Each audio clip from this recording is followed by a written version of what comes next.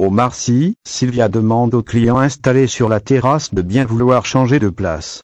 Elle leur explique qu'à l'intérieur de la salle, ils seront à l'abri des courants d'air et pour les inciter à accepter, elle leur offre un café gourmand.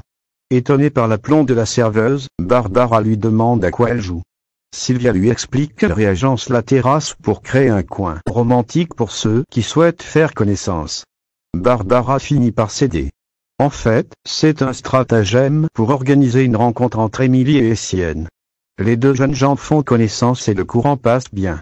Ils se découvrent des points communs et s'échangent leurs numéros. Émilie est sous le charme. Patrick aperçoit la jeune femme à la terrasse du Marcy et interrompt leur discussion pour lui dire bonjour. Il a le sentiment d'avoir déjà vu le commercial quelque part. De retour au commissariat, Patrick scrute le FNEG, fichier national des empreintes génétiques. Boé se met en danger. Prune fait croire à Boé et Patrick que la star américaine Jennifer Mitchum a craqué sur Aurore et Raphaël et que les deux bébés sont présélectionnés. Boé est fier il imagine déjà Aurore en future star. Patrick lui rappelle qu'ils enquêtent sur une arnaque de castin de bébé quand Boé reçoit un texto de Prune. Elle veut passer le voir. Patrick s'assure que Boé restera concentré sur l'enquête. Prune se rend chez Jean-Paul, la mine déconfite. Aurore et Raphaël n'ont finalement pas été retenus, car notre directeur de castin a proposé un pot de vin d'un montant de 10 000 euros à la production pour qu'elle choisisse sa proposition. Boé invite Prune à rester boire un verre. Installée sur le canapé, et après quelques verres, Prune se laisse aller à quelques confidences.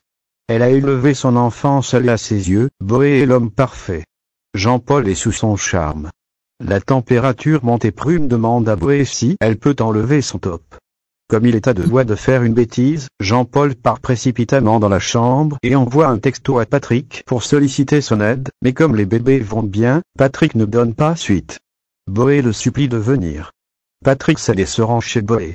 Prune leur explique qu'il faudrait surenchérir en donnant 15 000 euros à la production pour que leur bébé soit pris. Puis, la jeune femme ne se sent pas bien.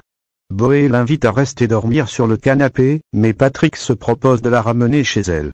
Eric et Simon inquiets pour la ferme Baptiste, Justine, et l'équipe du composée de Clara Debussy, l'ingénieur à l'Office national des forêts, de pompiers et de gendarmes, examinent avec minutie l'endroit de la forêt où le dernier départ de feu a eu lieu.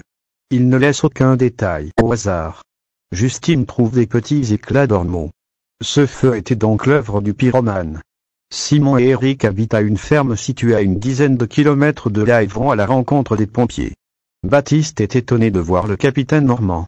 Eric le reprend, il n'est plus capitaine et lui explique ensuite avoir changé de vie. Justine informe Eric et Simon que le feu n'est pas accidentel, mais ils n'ont rien vu de suspect. Baptiste les rassure vite, le feu est éteint. Mais il leur conseille cependant de se mettre à l'abri, car la végétation est sèche et que le feu pourrait repartir à n'importe quel moment. Mais Simon ne peut se résoudre à partir et laisser ses animaux sur place. Clara Debussy est inquiète. Elle pense que le pyromane suit un rituel ésotérique. L'enquête progresse. La police scientifique a isolé une empreinte digitale sur le coquillage.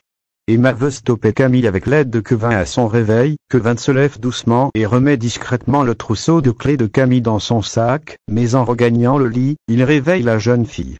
Kevin lui fait croire qu'il était sur le point d'aller lui préparer un petit déjeuner. Emma est persuadée que Camille est la complice de Jacob pour la mort de sa mère.